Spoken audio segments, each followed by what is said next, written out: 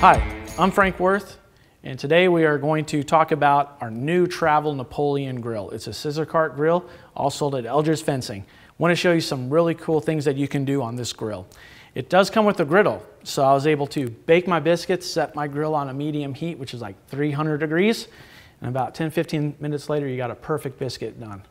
Also, at the same time, grilling my sausage, and because it does have the griddle, and you don't have to worry about no fires, no grease, and no flare-ups, I'm able to do a perfect over easy egg and make myself a good old breakfast sandwich. And then what's a griddle without doing quesadillas? So the quesadillas, I grilled my chicken on there and I used some of our Elk Creek AP seasoning, which that's what I also did on my eggs as well.